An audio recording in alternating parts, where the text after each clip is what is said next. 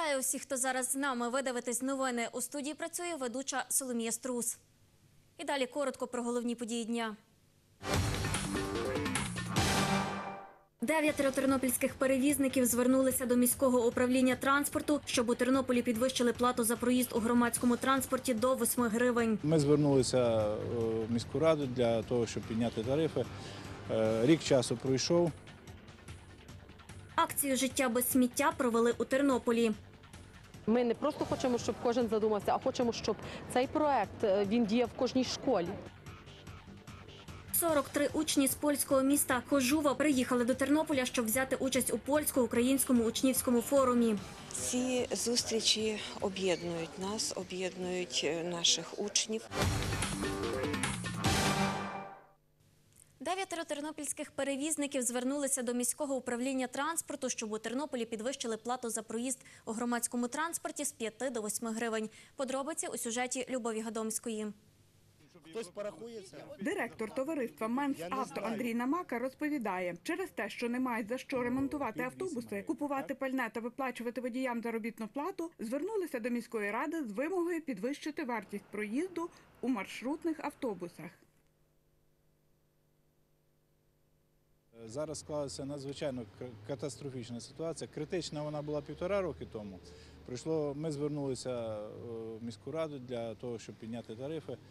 Е, Рік часу пройшов, і от зараз ми вплотну підійшли до того питання в зв'язку з тим, що просто відбулася катастрофа. І Мешканці міста Тернополя вже можуть бачити, що е, зменшилась кількість маршрутного транспорту у зв'язку з тим, що нема е, коштів для його відновлення, капітальних ремонтів, не вистачає грошей на зарплату працівникам, водії кидають.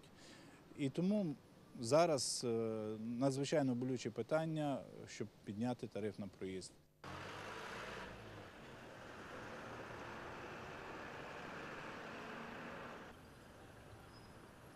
Представник перевізника Назар Транс Іван Миськів каже, на капітальний ремонт одного автобуса треба понад 100 тисяч гривень. Сьогодні з 10 машин, які експлуатує підприємство, через технічну несправність на маршрути виїжджає 7. Дуже багато проблем є е, з автобусами, тому що ми не можемо їх е, якісно відремонтувати. Поржавіла вже стара техніка. Е, Техніка ненадійна, е, то не є імпортні е, автобуси, які зроблені на заводі. Вони практично зроблені на кузні. Мучимося з ними, ремонтуємо. І дуже важко дається той ремонт. І якщо сьогодні на сьогоднішній день капітально відремонтувати автобуса, то треба поза 100 тисяч, а ще двигуна, то ще 50 тисяч. І з, такою, з такими тарифами ми практично не виживаємо. Зараз наступає ще зима, треба закупити колеса, акумулятори, е, антифризи і тому подібне, щоб е, виїхати нам, я не знаю. Наприклад, в мене на фірмі е, вже не виїжджає три автобуси приблизно кожен день, бо немає за що відремонтувати нормально.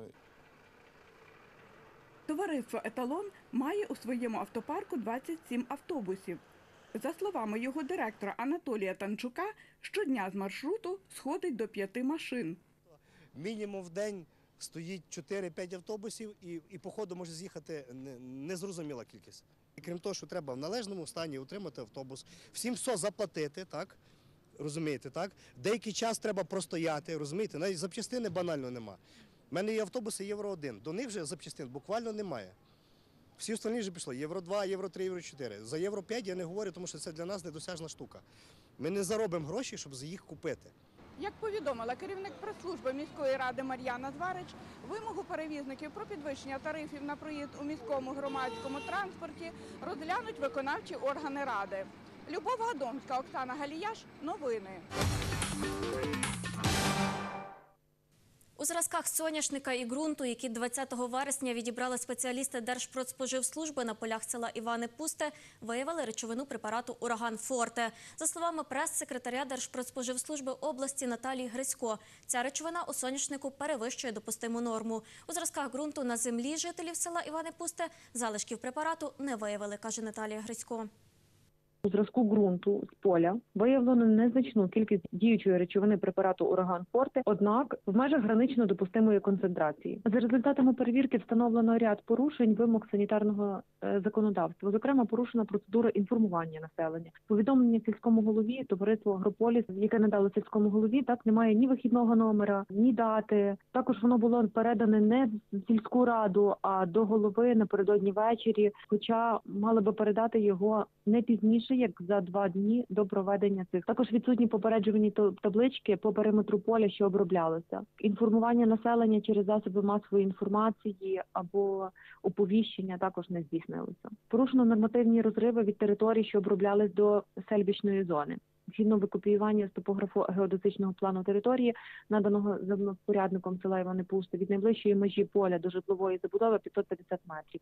За санітарними нормами допустима зона тисячу метрів. Також е, відсутній санітарний паспорт аеродрому, відсутні відомості щодо місця заправки, зльоту авіасудна, яким оброблялася обробка. І саме головне посвідчення працівників на право роботи з пестицидами та агрохімікатами протерміноване. Наталія Грисько повідомила, що фахівці Держпродспоживслужби області готують припис щодо усунення порушень. Після цього матеріали перевірки передадуть до правоохоронних органів. Ми звернулися за коментарем до агронома товариства Агрополіс Віктора Кислевського. За його словами, директор підприємства Володимир Гросуляк зараз у відпустці. Щодо висновку Держпродспоживслужби Віктор Кислевський нам сказав таке. Я що хімік, щоб я там вам таке сказав. Відки я там знаю, чи воно там перевищено, чи воно не перевищено. Я з Тернополя тільки що їду, ми всі документи там представили, там чітко є, коли ми йому вручали, коли ми почали кропити. Ми його повідомили 17-го числа. А де є таке, щоб зараз через е, масові інформації, щоб ми могли попередити населення? Що це колись в колгоспі радіо, що включив, й міг попередити людей. Щось не тут розуміти. Та, це брехня вся. Я, звичайно, агроном. Я, якщо добре розібратися, я взагалі до того не маю ніякого відношення, бо то не моя найзона відповідальності. Миленько там одні документи вже предоставили в Тернополі. Я от тільки що їду з Тернополя там. Е, все там так, як має бути, і попереджено за два дні. Там є все чітко е, дата, коли ми вручали, година. Ну, нічого, будемо боротися далі. Побачимо в кінці, як воно вийде. Після цього ми знову зателефонували до Наталії Грицько. Вона повідомила, що документи, які подали представники агрофірми, протерміновані. Привозив їх вчора і не а не сьогодні. І більшість тих документів в нього йдуть прострочені. Договір складений неналежним чином. Немає інформації в договорі, де він кропив, що він кропив. Воду каже, що він набирав. В лісопосадці, вода йде не відфільтрована. Так само може мати вміст нітратів. Зазначу, 18 вересня аграрії підприємства Агрополіс розпочали кроплення полів на території села Івани Пусте Борщівського району. 20 вересня 250 жителів села звернулися у сільську амбулаторію із симптомами отруєння. З них 80 дітей, повідомив лікар сімейної медицини амбулаторії села Івани Пусте Володимир Буляк. На цих кадрах, які зняли наші кореспонденти 20 вересня, жителі села Івани Пусте зібралися на майдані біля сільської амбулаторії. 20 вересня надзвичайна комісія Борщівської райдержадміністрації прийняла рішення призупинити кроплення полів хімікатами на території села. Повідомила голова цієї комісії, голова Борщівської райдержадміністрації Людмила Юськів. У Тернопільському обласному центрі зайнятості відбувся перший день семінару Як створити безбар'єрне середовище для людей з інвалідністю. У ньому взяли участь 30 осіб. Подробиці у сюжеті. Серед учасників семінару Роксолана Гриджук. Три роки тому з нею трапився нещасний випадок. Відтоді дівчина пересувається на візку. Кожна коляска відповідно до параметрів людини має свій розмір. Тобто, навіть під'їжджаючи до тих рейок, ти вже не можеш е, поїхати, якщо в тебе коляска чи менше, чи більше.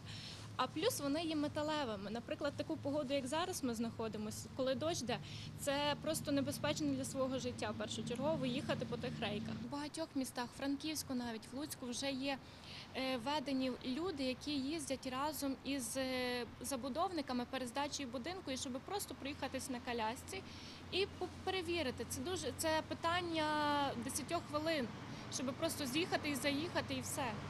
Значить, вже будинок можна буде використовувати, і це зручно. Це буде зручно для людей навіть похилого віку. Ми просто поки з тим не стикнемося, ми по суті не розуміємо тої проблеми. Тернополянин Володимир Костишин, який виховує сина з інвалідністю, називає декілька бар'єрів, які заважають маломобільним групам населення жити комфортно у рідному місті. Високі сходи, велика кількість сходів, відсутність ліфтів, відсутність пандусів, неналежне облаштування пандусів. Пандус, пандуси, як правило, знайти під е, правильним кутом це величезна рідкість. Навіть ті пандуси, які зараз вводяться в експлуатацію, кут їх насправді не менше 15 градусів, тоді як повинно бути до 12 градусів. Це те, що ми стукаємося постійно. Бар'єрність нашого середовища. Тернопіль, як не прикро говорити, я вкотре це вже буду казати, є недружні до людей, які мають ті чи інші е, мобільні потреби.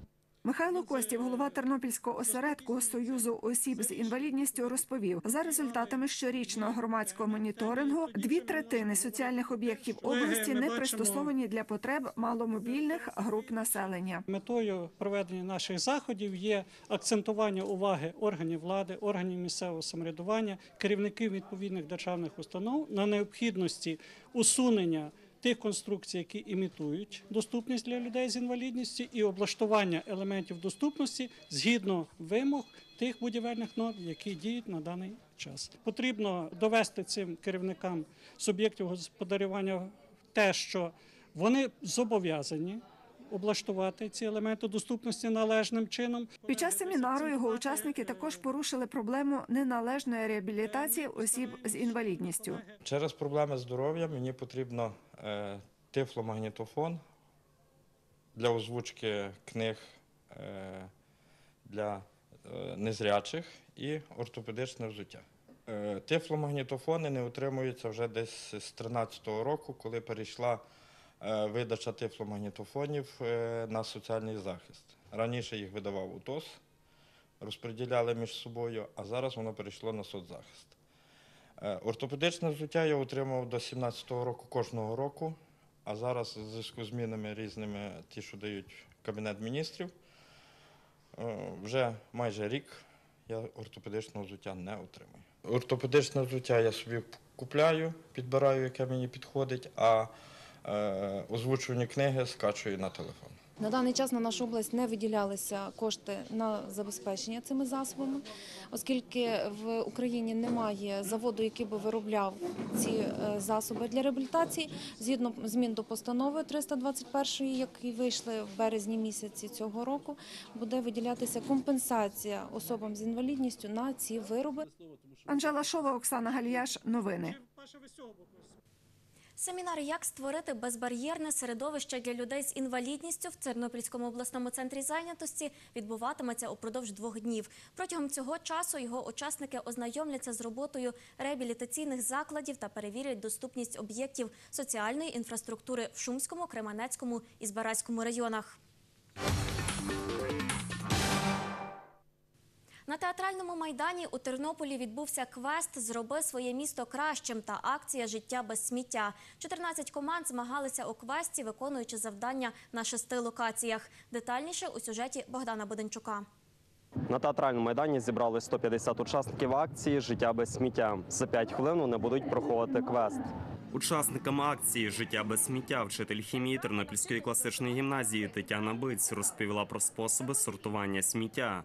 Вчитель географії Ольга Романишин розповіла правила квесту. Коли ви після шостого контрольного пункту шостої локації прибігаєте на фініш, принесіть конверт і кричіть хоч фініш, щоб ми зафіксували ваш час. Чотири учасники команди 26-ї школи отримали конверт із завданням.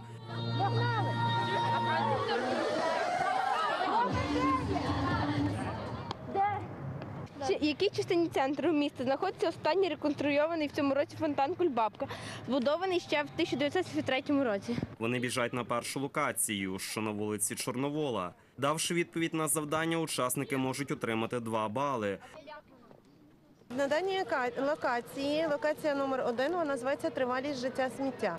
Е, Завдання, е, у які отримують учні в даній локації, скільки часу потрібно, щоб повністю розкласти відходи. Потрібно співвіднести е, час до певних відходів. Діти виконують завдання і за це отримують максимально два бонуси за всі правильні відповіді. Один, якщо частково виконане завдання, і звичайно не отримують бонусів, якщо відповідь зовсім невірна. Команда 9-ї школи біжить до третьої локації, що знаходиться на вулиці Валовій, біля пам'ятника краєзнавцю Ігорю Гереті. Ми зібрали вже три фішки. Е, Були ми коло різних фонтанів, коло знаменитих людей. Тернопільська класична гімназія спільно з е, вчителями проводить сьогодні акцію Життя без сміття або сортуй заради майбутнього. Ми не просто хочемо, щоб кожен задумався, а хочемо, щоб цей проект е, він діяв в кожній школі. Тобто, щоб від сьогоднішнього дня учні почали сортувати сміття і у себе в школі. Якщо це буде, наприклад, хоча б один клас, це вже буде, скажімо, велика перемога наша, що ми не просто е, це проводимо. Богдан Буденшук, Андрій Прокопів. Новини. Перше місце вибороли команди Тернопільської школи номер 15 та Тернопільського ліцею номер 9 імені Іванни Блашкевич. Учасники цих команд набрали по 10 балів із 13 можливих. 43 учні з польського міста Хожова приїхали до Тернополя, щоб взяти участь у польсько-українському учнівському форумі, який відбувся у Тернопільській школі номер 4.